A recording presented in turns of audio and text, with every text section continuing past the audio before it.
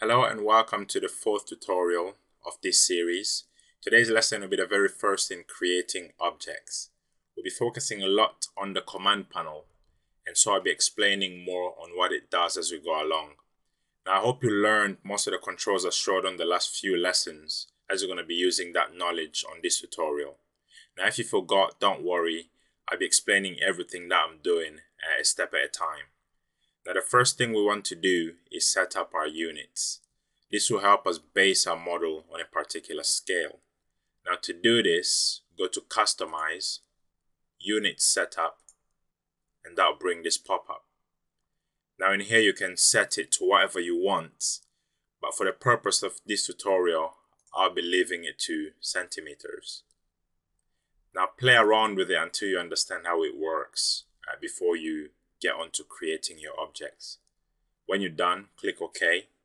But because I haven't changed anything, I'll just click cancel. Now let's get started on the creation part. Start off by going to the command panel on the right. Now we've got a few different tabs up here, but we want to make sure the create tab is selected. This is the first one here. Now right below that will be a subcategory and make sure you've got the geometry selected. Click on the box. This will highlight it in a different color. Let's go straight to the perspective viewport and click anywhere within this viewport to start creating our box. So just click and drag in any direction you see fit. And as soon as you let go, this will give you the option to increase the height of the box. So you can go as high as you want. I'll leave it to about that size. Now go ahead and create another box right next to that or as far as you want. So just play around with this until you get the hang of it and then select sphere and continue doing the same. Now you might want to go through this whole section to understand what each one of these is and how it works or how to create them. Now after making a few objects, you might want to get out of the create mode and potentially edit them.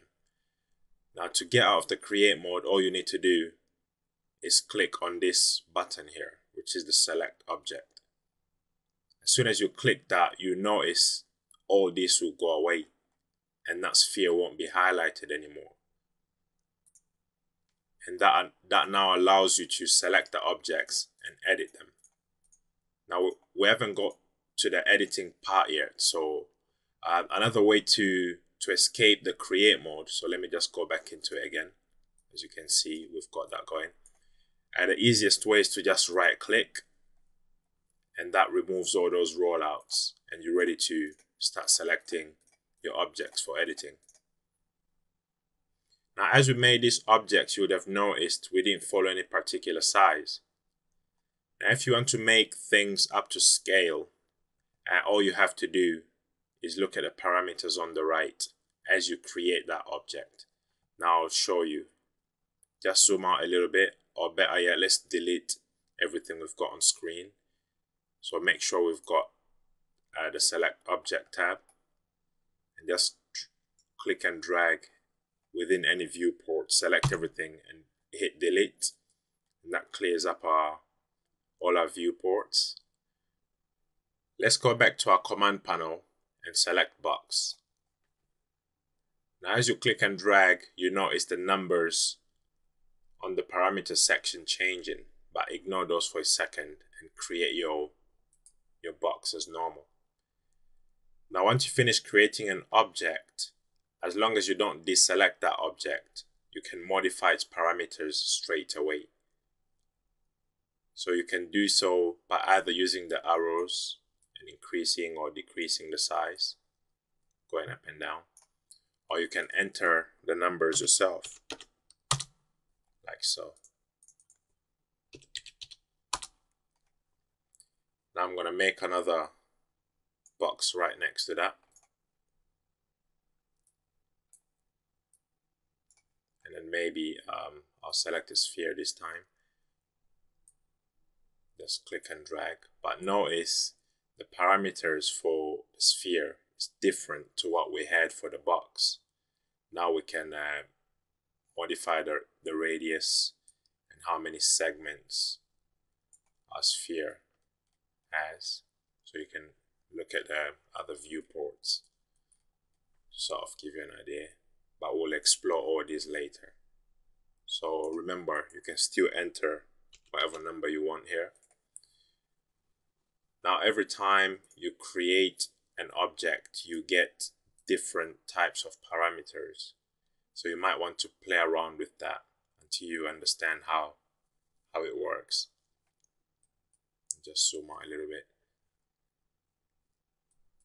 Now, um, all these parameters are appearing as I'm creating the object. So for example, let me create another uh, cylinder here. As soon as I let go, I can edit it. But as soon as I deselect it, uh, let me just get out of the, the create mode by right clicking. And then as soon as I deselect that, select it again, I've lost all those parameters, so I can't edit it anymore uh, to edit it now, I have to go to the second tab on the top, which is the modify tab. And as soon as you click on that, you've got all your your editing uh, parameter section again. And as you click on other objects, as long as you remain within the modify panel, you can you can continue editing each one of them. Now, one thing I forgot to tell you, uh, which I'm going to tell you now, uh, with regards to creating objects, each one of them has a different amount of clicks you have to do before creating that particular object. For example, um, let me just let me just delete these things real quick.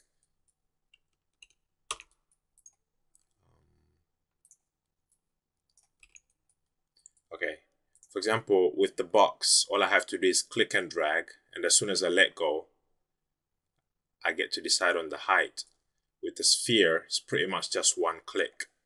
When you go to the cylinder, that's quite similar to the box. So you click and drag. As you let go, you decide on the height. And as you click again, and that's done. So you might want to, again, play around with this until you, you understand how it works.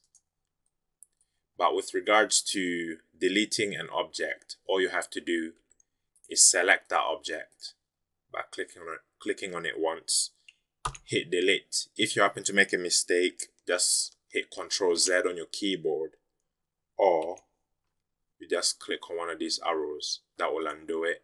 You can also redo it.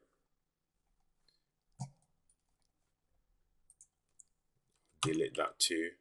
And if you want to select everything within your scene, you just click Control A and that selects everything.